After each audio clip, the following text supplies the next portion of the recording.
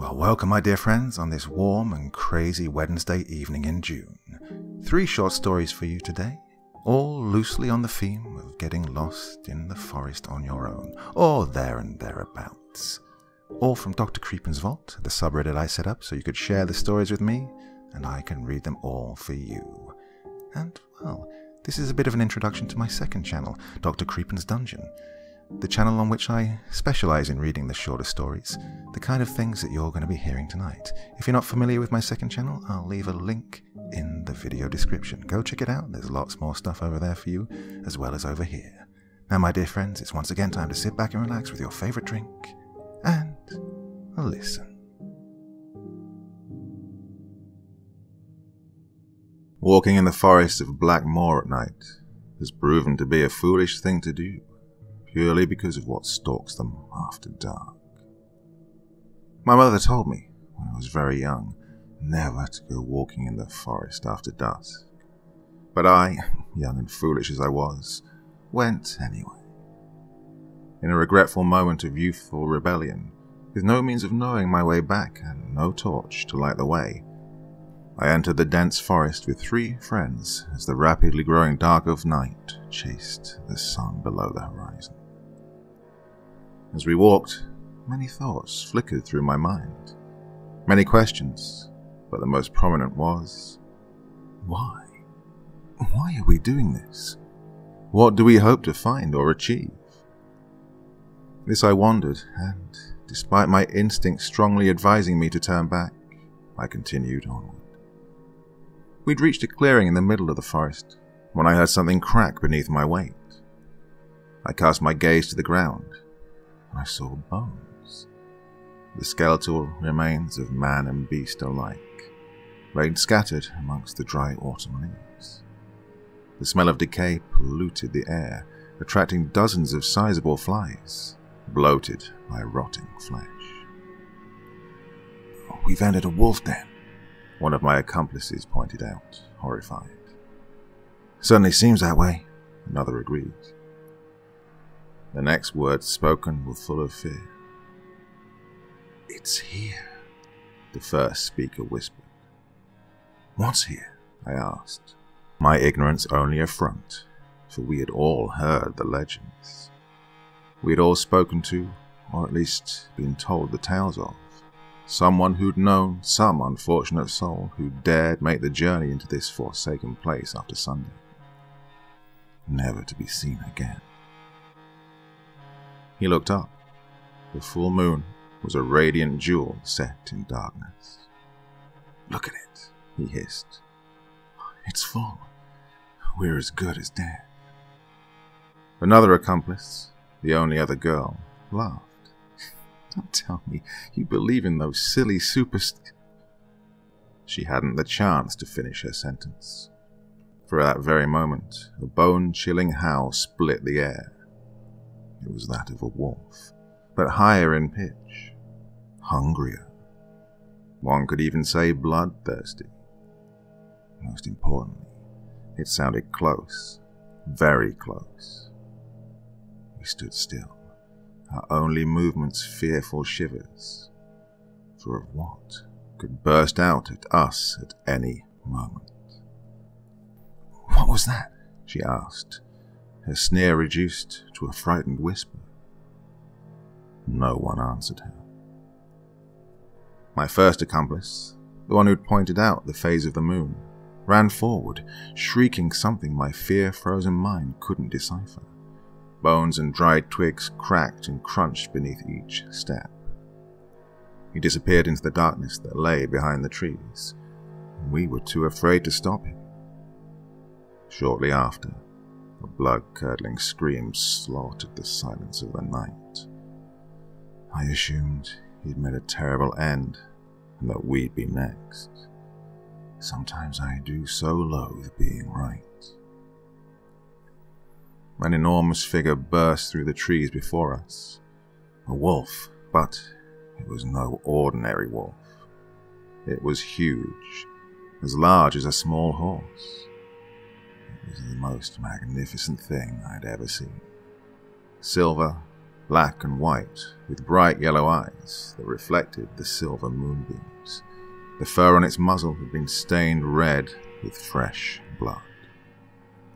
The girl swallowed her words, along with the lump in her throat. The beast charged towards us, and since she was closest to it, grabbed her and tore her to shreds right in front of us. Rachel was her name, and I shall not soon forget her screams as the beast ripped her open and gorged upon her insides. I realized I was screaming and crying, whether out of fear or loss, I do not know. Closed my eyes. So did my last remaining accomplice, Jonathan. We were awaiting death.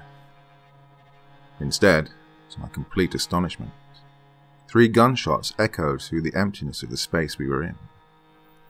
I cracked an eye open, and then followed it with the other, just in time to see the last bullet pierce the wolf's chest. A man dropped from the treetops above, shouting some unintelligible battle cry. He landed on top of the wolf, and it was then that I realized it was not yet dead. The man raised an exquisite silver dagger above his head before swiftly bringing it down plunging it into the wolf's heart. The creature writhed and thrashed wildly. Its blood splattered the man's velvet coat until it eventually became still, and the man let go a sigh of relief. He stood, taking a step backwards. Where a monstrous beast had once been, a beautiful woman lay. Her pale, naked form, broken and bloody. Her black hair was matted with sweat, and blood and dirt caked itself under her fingernails. He dropped the dagger and knelt beside her, crouching as if kissing her.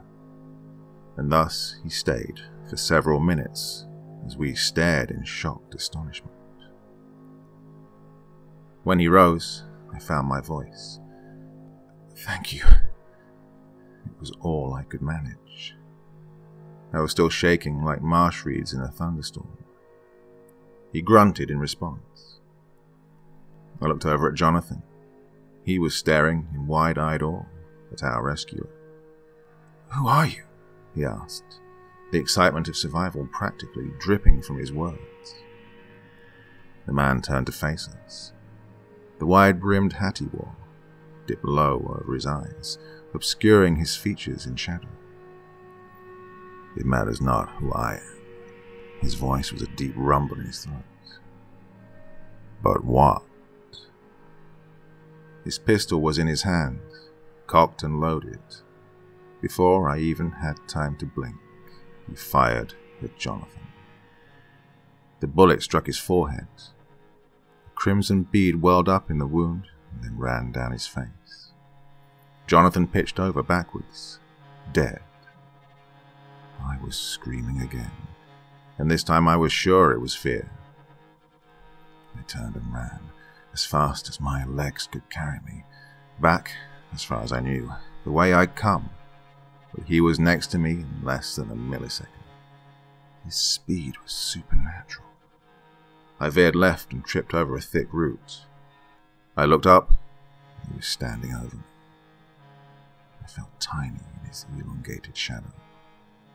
The next thing I knew, I was being dragged back to the clearing, the cold, damp forest floor scraped by in a blur. Rough stones and undergrowth tore at my bare skin and clothing. When we were back in the clearing, he threw me down on the ground with such force my right shoulder dislocated, then he hauled me to my feet.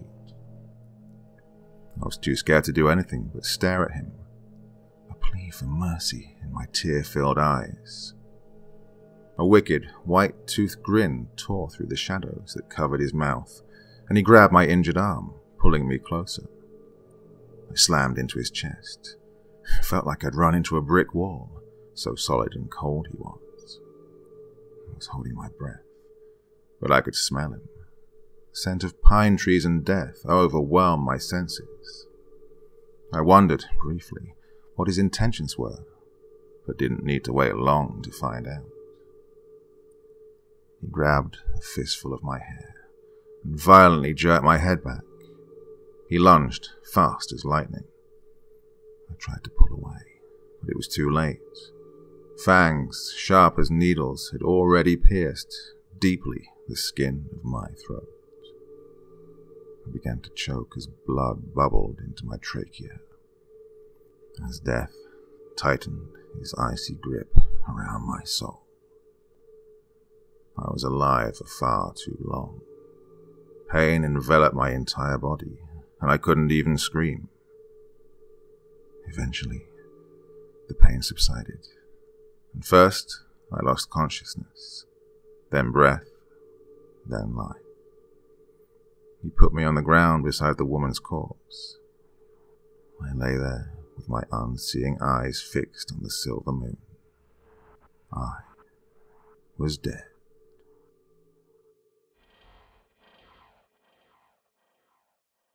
In freshman year of high school, I had a classmate. I don't remember his full name, but his first was Peter. But his name wasn't what struck me. It was the way he was. He always wore the same thing every day a long sleeved flannel shirt, regardless of the temperature, navy blue cargo shorts, also regardless of the outside air, black socks, grey shoes. He never expressed any emotions. He always just looked bored. His midnight black hair swirled like a galaxy, and his eyes were both the exact same color as cold steel, and they also felt like it. Every time I made eye contact, whether on purpose or not, a cold chill would run laps around my spine and down my arms and legs.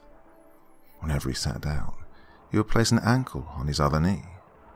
Every ten minutes or so, he would switch to the other leg. I only had Peter for one class, and that was in the string orchestra.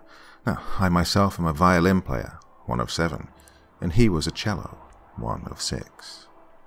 Whenever our orchestra teacher addressed his section, he would keep his gaze on the front row. Peter sat in the third, even if he was addressing Peter's stand partner. I only have one experience with him that I remember that happened outside of class. I was headed to gym class as he was leaving. One of the jock types slammed into Peter's shoulder while passing him. Peter stopped in his tracks, and the jock turned around. Watch it.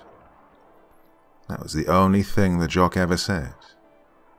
Peter fixed his cold steel eyes on the jock's brown ones, and he said nothing. One of the jock's friends put his bag down. Peter didn't break eye contact. A few people, me included, stopped waiting for the fight. But it never happened. The jock turned around and unsteadily commanded his friend to do the same. Peter still said nothing, just watched. But he was smiling. It was small, barely noticeable, but a smile nonetheless. His shoulders twitched as he gave a small, soundless laugh. His eyes were no longer cold. They were brighter, and I realized that one was blue and the other green. It was muffled, almost as if they were still fighting for the steely color but it was there. As he passed me, I heard him mutter one word Delicious. I think that's when my intrigue started to become obsession. Eye contact still resulted in the chills, but they weren't as intense. The orchestra teacher would flick his eyes towards Peter every few minutes, and every time he did, Peter's own eyes would snap to meet them. In my second year, I had two classes with Peter history and orchestra again. At this point, I could hardly keep my eyes off him. He would occasionally look at me, and whenever our eyes met, the chills would come. Eventually, I got used to them. But the headaches were new. They thundered across my forehead, then down to my mouth, ending behind the eyeballs. Whenever I told my friends about them, they were quick to dismiss my observations in favor of menial gossip. Who cared who was dating who? It didn't affect me whatsoever. I only cared about Peter, his life, his nature. When we got paired up with two other classmates, Ryan and Bailey, for the first semester final project, I was ecstatic. Genuine interactions with Peter. I could learn so much. I could ask him about anything. But he only said five words that first day. When we got the list for the project parts, he read over the list and said, I could do slide three. The weekend before we gave the presentation, he asked if I would be willing to come with him so we could work on the project at his own home. And needless to say, I accepted. As we were walking home, me behind him, he took out his phone and began to type. I drew closer, trying to see what he was saying and to whom. But his phone was off. He merely tapped the screen where the keyboard would appear. In an instant, I felt muffled fear. Then I was staring into his face. He had me pinned to the tree at one end of the park, nearly 300 feet from where we were a second ago. Bark dug into my back. My head slammed into the trunk. Stars fluttered across Peter's face. His eyes were shining silver. A grin split across his face. Long, sharp teeth, like bone white blades of grass, stood in criss-crossing chaotic rows. He spoke. You can't imagine how long I've waited to feed. I waited for the teeth to pierce my skin, but they never did. I only felt a trickling sensation, like water was running down my forearms. My fear rushed away as this took place. Peter's eyes were no longer silver. The cold steel blue and green were replaced with sapphire and emerald hues, which almost blinded me. Thank you. He released me, and the sensation stopped. I figured I would be afraid, or perhaps relieved that it was over, but I felt none of these, and that didn't surprise me. Nothing did. I soon saw my eyes were now that steely grey which matched Peter's at the beginning of last year. My orchestra teacher regarded me with the same fear that he did so with Peter. My friends slowly grew away from me. I didn't care. Their stories weren't boring, but, well, I found it hard to stay interested in anything. We gave our presentation. I wasn't nervous. Peter was. When I saw a spider in my room, I wasn't worried. I killed it without a second thought. I found that my crushes had been broken. I no longer hated my science teacher or loved my English one. I felt the hunger when I bumped into some freshmen in my junior year. It felt like my shoulder had been covered in dust, and he'd thrown it all off when he hit me. The hunger felt cold. No amount of food could satisfy it. I knew what I had to do. I called up Bailey and told her I wanted to reconnect, and if she would be up to getting some McDonald's this weekend. Yes, Taco Bell worked as well. When she greeted me, I made sure not to touch her. We ordered and we talked. I didn't care. The food tasted all right. I spilled my drink on my pants. The drink was cold. Now my legs were. She said sorry, asked if I needed a napkin. I said no, it'll be fine. Just keep talking. We both finished, and she hugged me, said she'd be happy to do this again. The moment my arms closed around her, I felt warmth, like someone had poured hot water over my head. I felt my pulse running through my fingers again. I felt happy. I felt sad, angry, scared, love, hate. I felt alive.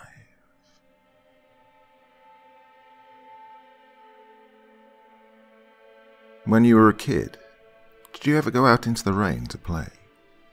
I did when I was small.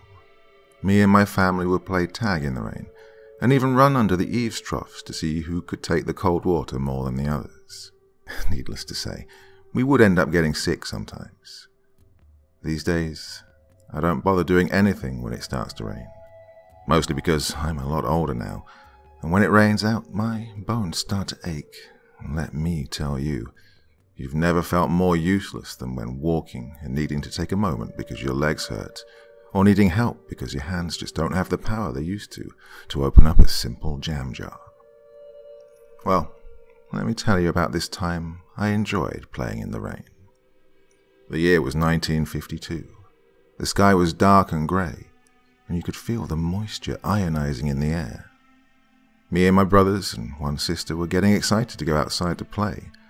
This was most definitely our happiest time growing up. We all stripped down to as minimal clothing as we could to get ready to go outside. I sat next to the front window to wait and watch for the rain to come down when I noticed something peculiar across the road. It looked like a young man just standing under a tree, waiting for the rain to come and go. At this time, this wasn't strange, as in our community, the next door neighbour's house was ten minutes in either direction, and the property across from ours was the only one that had a tree big enough to stand under without getting wet. The man seemed off, smiling a smile that went crookedly from one side of his face to the other creepy enough so that I went outside to get my mum, as it just didn't seem right for this guy to be watching us like a creeper. As I was on my way to get my mother, I noticed it. It was a sickly sweet, heavy dinge smell, the smell you get when your mum pulls expired meat out of the fridge. Nowadays, I know that smell as decay. That's when I knew I had to turn around, as I did. I saw my sister walking over to the man under the tree, and now I remember screaming for her to stop. But she didn't. She kept going as though she'd never heard me. The man was waving her over, that's when I noticed what I didn't like about the man under the tree.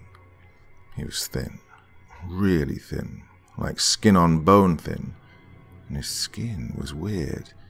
It was pale, but on one side of his face looked like half his head was covered in a bruise that was purple, but turning yellow, and his movements were stiff and jagged. As soon as my sister reached the man, they grasped each other's hands and turned to run off into the field. I told my mother, and she immediately called the police, and my dad ran outside to find my sister. Needless to say, my sister was never seen again. Well, not alive, that is. My family took it really hard. My mum and dad wouldn't let us go outside to play on our own anymore. One year after my sister disappeared, on a rainy night, I noticed something standing across the road from my house, staring into my window. When it noticed me, it started to wave at me. I closed my curtains and jumped into bed and pulled the covers over my head and closed my eyes. Eventually, I fell asleep. The next morning, I woke up, believing it was just a bad dream, until I smelled something gross but familiar. I opened my curtains to see a message written on my window in this nasty, yellowish grey pink goo. It read, Come play with us, Erin. We miss you.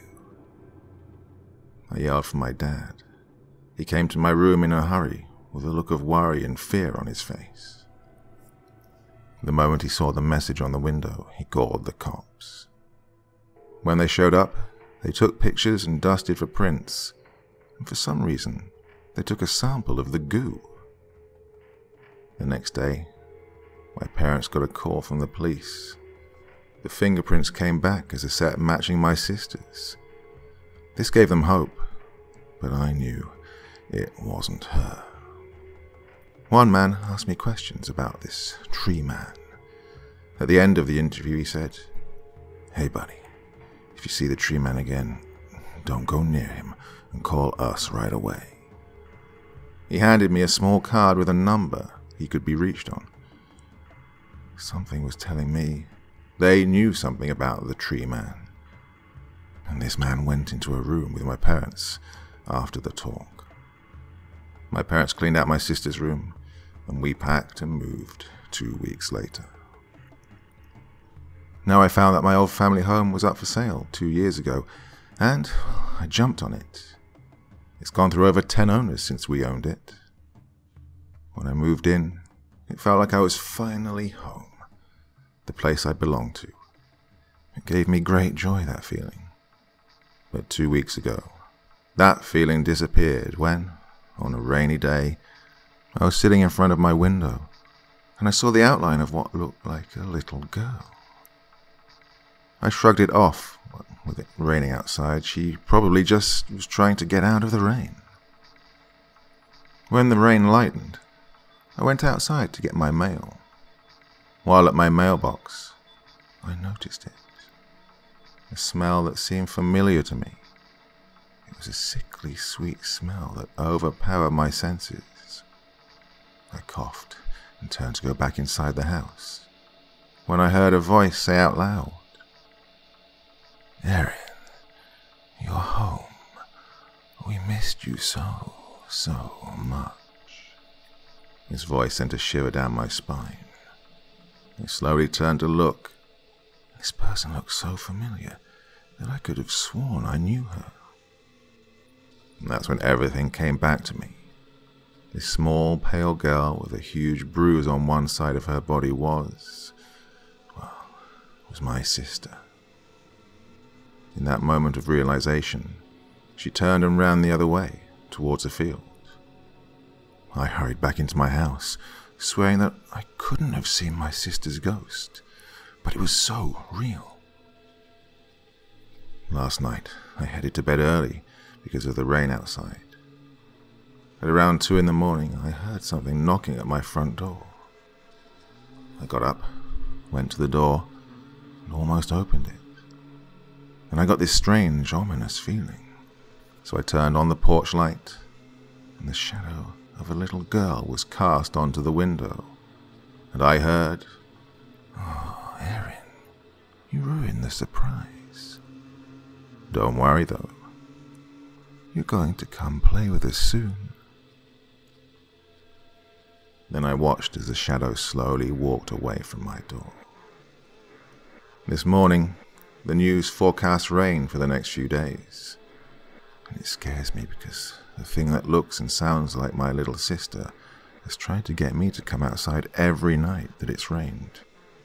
And with this forecast, I don't think I'm going to be able to say no for much longer. Tonight was the worst night yet.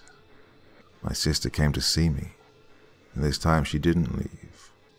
She walked from my window to my door, softly saying, Erin. Then, at 2 a.m. this morning, her voice changed to a raspy, gurgly, low pitched, angry sounding voice, filled with anger, and I finally broke down and screamed at her. I know you're not my sister, because she died when I was just a boy. Then she stopped talking and exclaimed, Oh, Erin, you're ruining all my fun. Don't make me come in there to get you to come play with us. My heart sank. All this time I believed she couldn't come in the house. It never occurred to me she just didn't want to. This might be the last time any of the people reading this will hear from me. Today I got a reprieve from the rain. It isn't being forecast for this week. I'm going to go out and buy myself a nice shotgun and a ton of buckshot. Then I'm going to wait until it rains again. When it knocks on my door, I'm either going to rid my home of this child stealing monster, or, well, I'll be dead. So the next time it's raining outside, you see a 70 year old man with an ominous evil smile and smelling something foul, you'll know I failed and that you need to run. Run like your life depends on it, because I don't think you'd want to come play with us.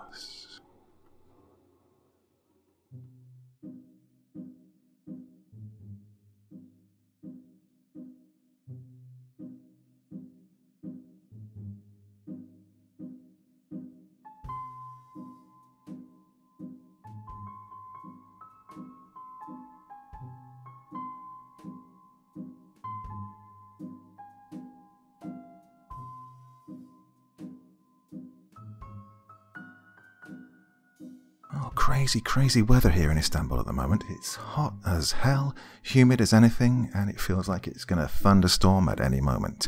I think we need a bit of rain to uh, clear the air a bit, but well, we'll just wait and see. Well, that's another one from me. Another evening done and dusted. But I think I left you wanting more, haven't I? Have I? Well, don't you worry, I will be back again on Friday with another fantastic story for you. And of course, again, all next week and for the foreseeable future. Let's wait and see, eh? Well, my dear friends, that's enough for me for one evening. Until next time, sweet dreams and bye bye.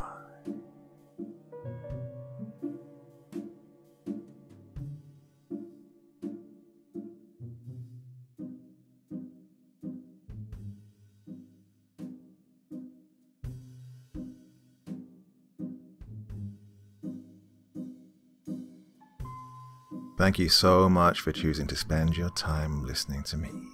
Now, if you enjoyed the Dr. Creepen experience, then come find me on Facebook. Come chat with me on Twitter.